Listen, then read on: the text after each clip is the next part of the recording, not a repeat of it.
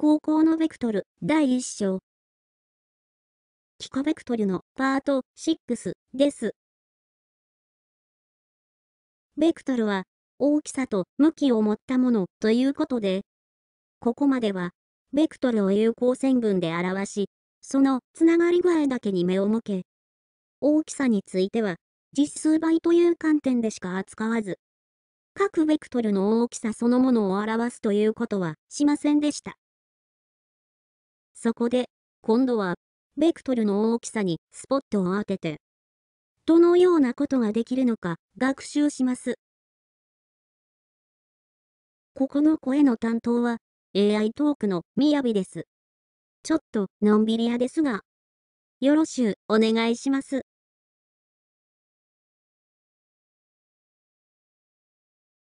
23、幾何ベクトルの大きさ。まず、ベクトル A の大きさを表す記号を紹介します。それは、絶対値の記号を借用して、ベクトル A を絶対値の記号の中に書きます。ベクトルが有効線分 AB で表されているなら、と書きます。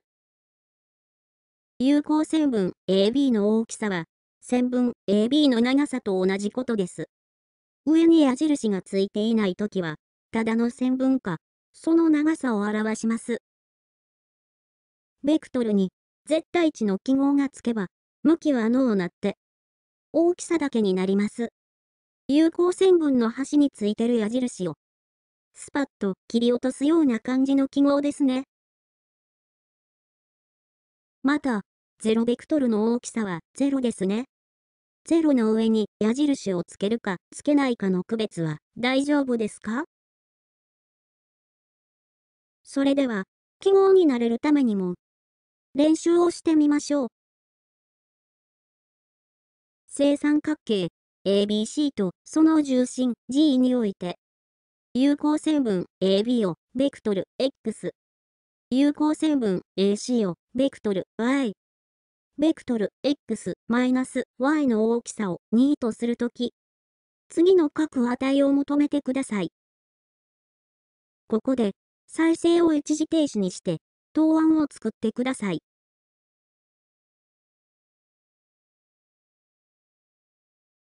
答えはこうなります。まずはじめに、ベクトル x-y は有効線分 CB ですから、その大きさが2ということは、この正三角形の一辺の長さが2ということです。ですから、ベクトル x の大きさは当然2です。次に、マイナス 3× ベクトル y の大きさは 3×2 で6です。ベクトルのマイナス3倍の意味を考えればわかりますね。向きを逆にしても、大きさだけで言えば、ただの3倍です。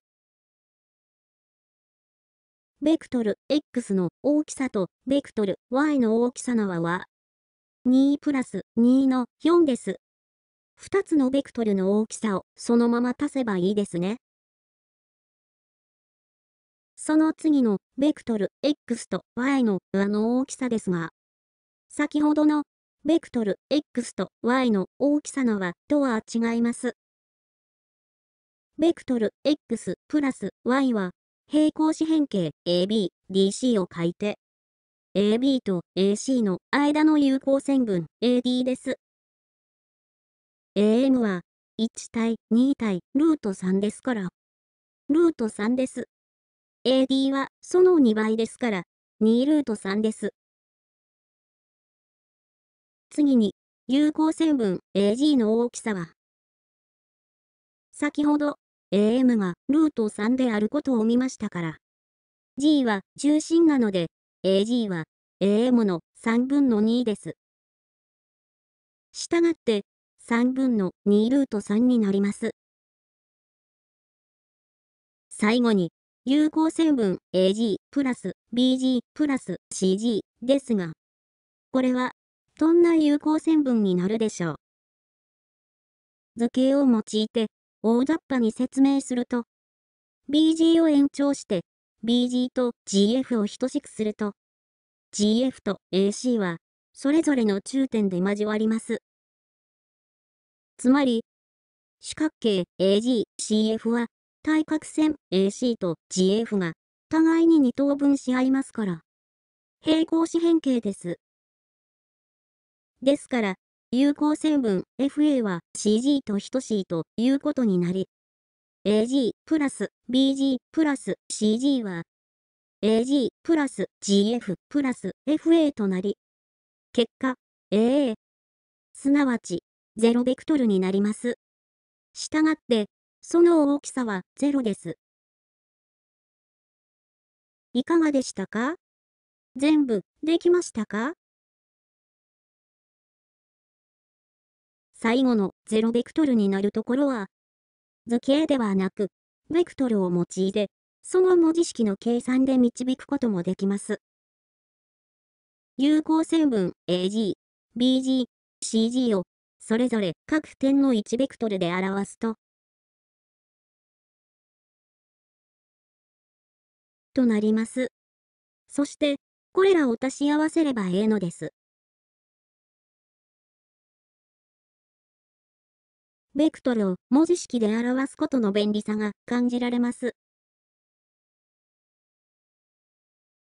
それでは、次に、この練習の結果も参考にしながら、ベクトルの大きさについての性質を整理しましょう。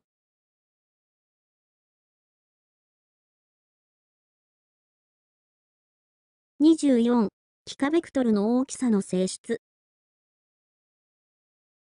先ほどの練習の結果の一部を、ここに書いておきます。まず、ベクトルの大きさは、当たり前ですが、負の数ではありません。また、0ベクトルの大きさは明らかに0です。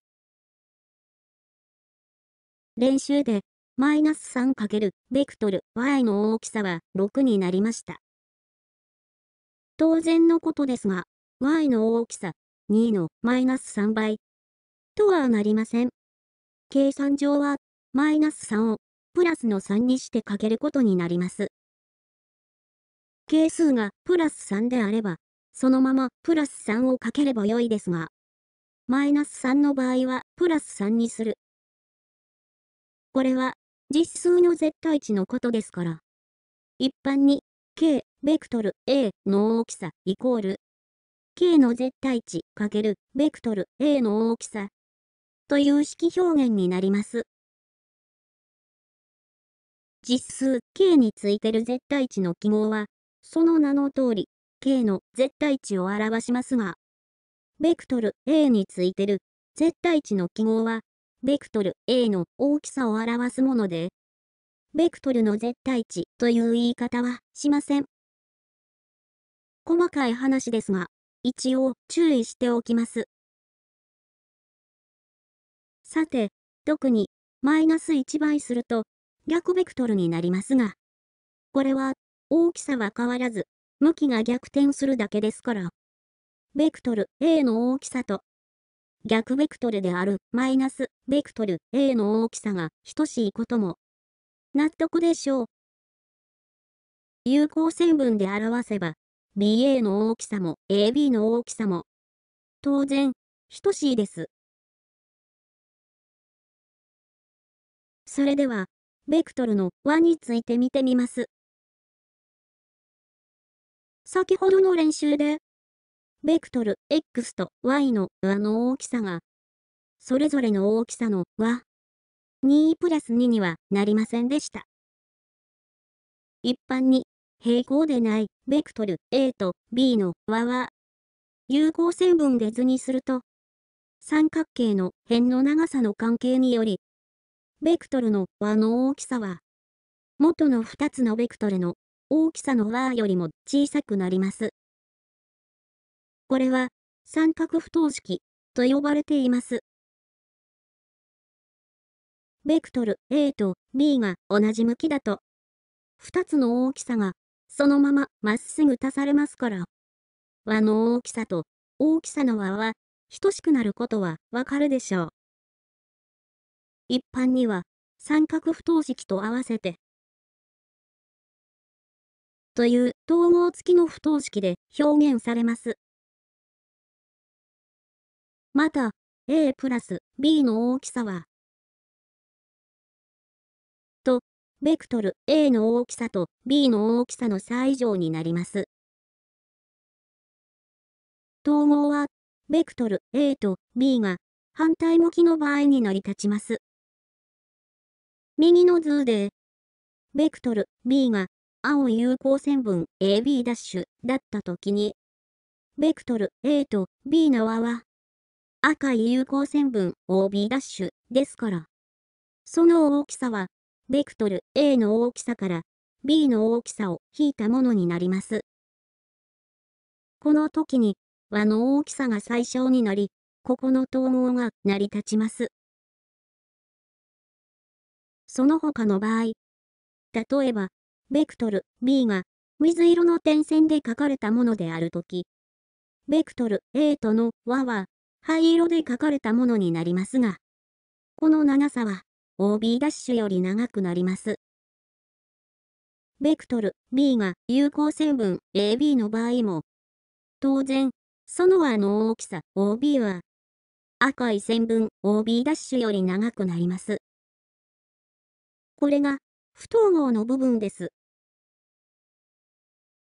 右の図では、ベクトル A の大きさの方が B の大きさよりも大きくなっていますが、もし大小が逆やったら、ベクトル A の大きさマイナス B の大きさは負になります。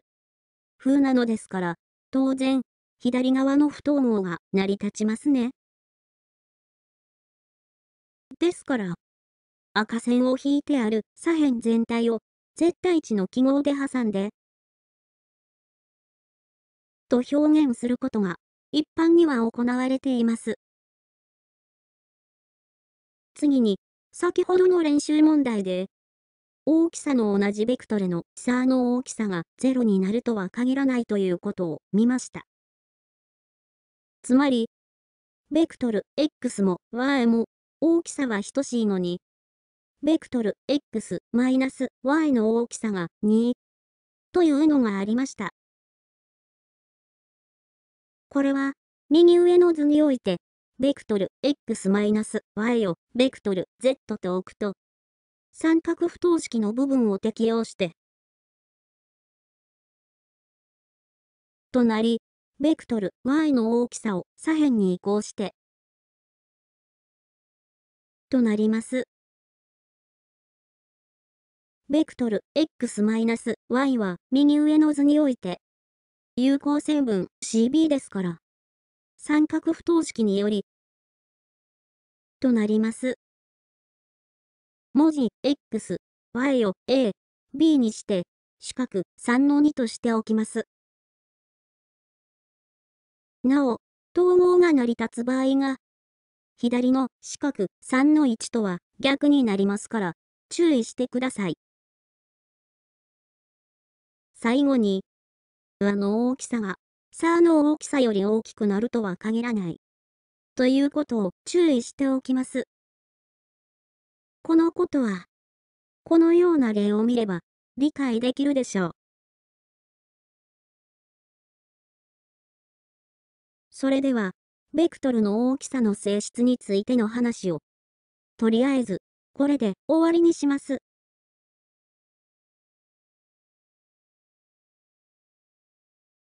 25、幾何ベクトルの内積の定義。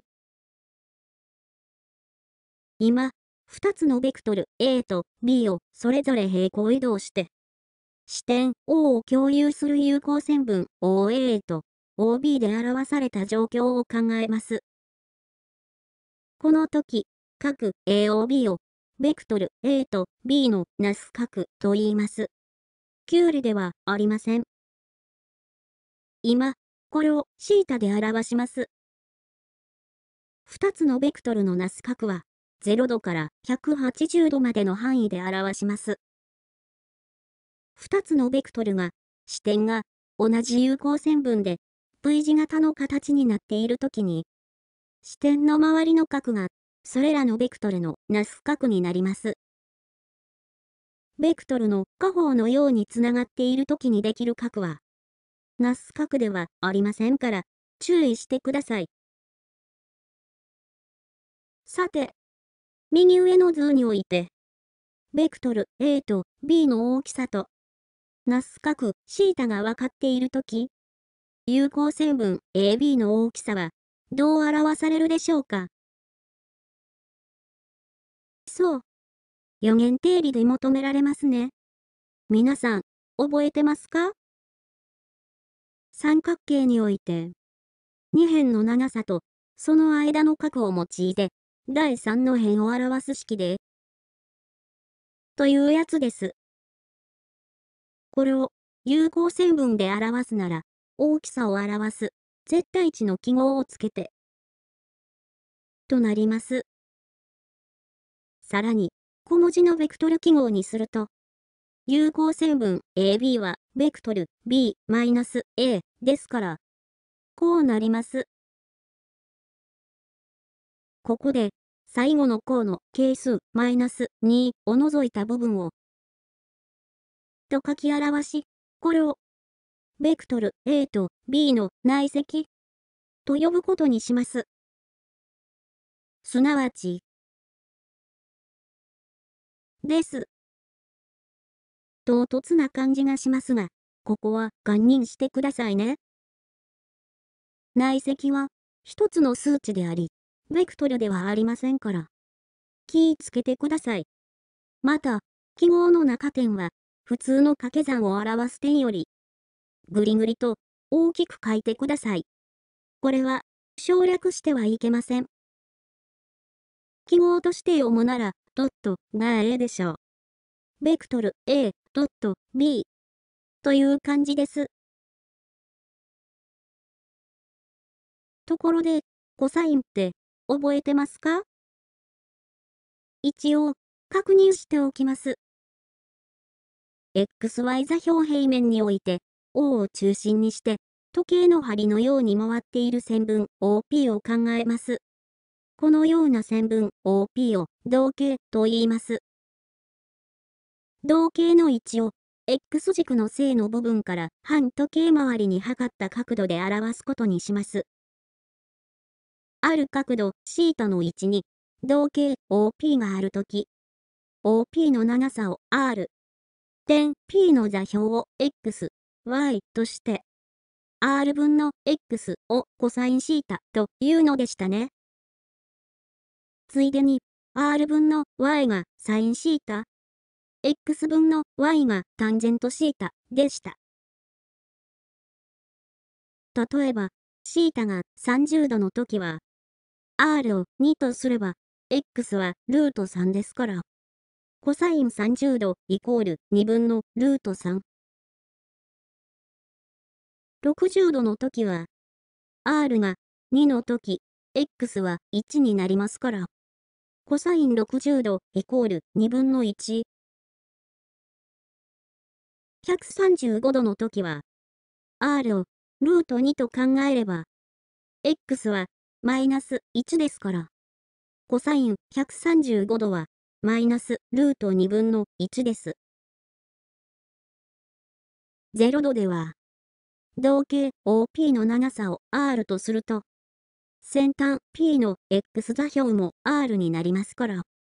コサイン0度は R 分の R で1。90度では P の X 座標は0ですから。コサイン90度は0。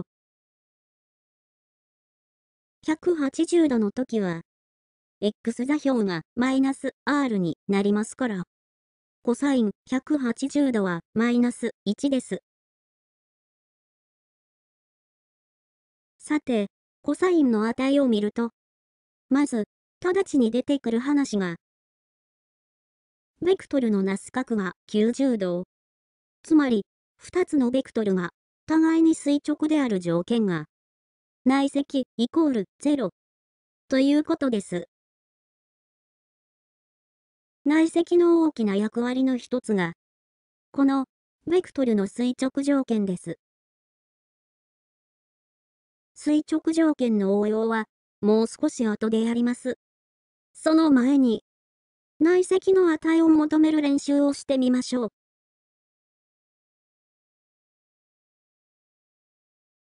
平面図形で内積を求める練習です。まず、一辺の長さが1の正六角形に、図のようにベクトル A、B、C が設定されているときに、次の内積の値をそれぞれ求めてください。一時停止にして回答ができたら、また再生にしてください。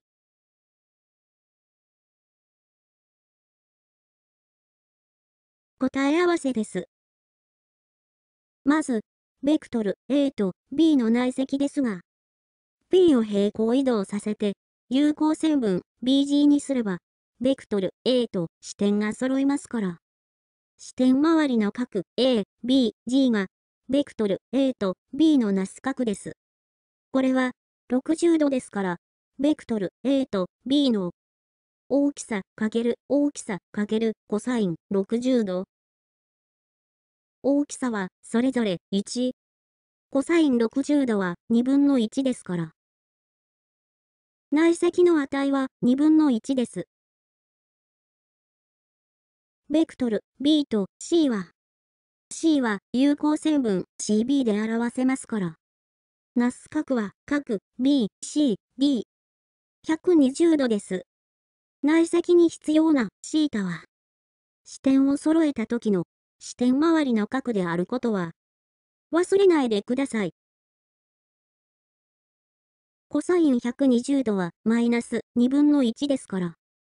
ベクトル B と C の内積はマイナス2分の1となります。ベクトル A と自分自身のなす角は0度ですから。コサイン0度は1、したがって、ベクトル A 自身同士の内積は1となります。また、マイナスベクトル A は有効線分 BH と表せますから。逆ベクトルとのなす角は180度です。コサイン180度はマイナス1ですから。内積はマイナス1になります。次に、ベクトル A と B の和は有効線分 BF で表せます。この大きさは、一辺の長さが1の正三角形の高さの2倍ですから、ルート3。有効線分 BF と BA のなす角は30度ですから、コサイン30度は2分のルート3。よって、内積は2分の3。次、ベクトル。B は有効線分。BG ですから、ベクトル。A マイナス。B は有効線分。GA になります。ベクトル。A プラス。B は先ほどの通り有効線分。BF です。GA と BF は垂直ですから、内積は0です。垂直の場合は、即、内積は0と答えて構いません。わざわざ視点を揃えて、コサイン90度は0だから。とやらなくて結構です。最後に、ベクトル A と B の和は有効線分 BF です。マイナスベクトル A は有効線分 BH です。これらのナス角は150度です。コサイン150度はマイナス2分のルート3。BF の長さはルート 3BH は1。したがって、内積はマイナス2分の3となります。できましたか？内積は立体空間でも同様に扱うことができます。それを次に練習してみましょう。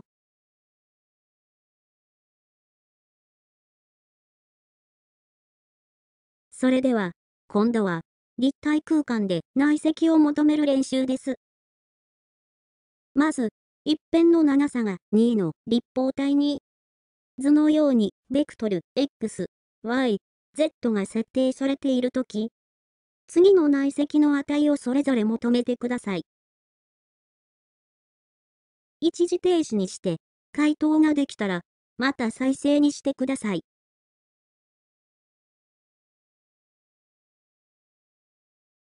答え合わせです。ベクトル X と Y は垂直ですから。内積は0です。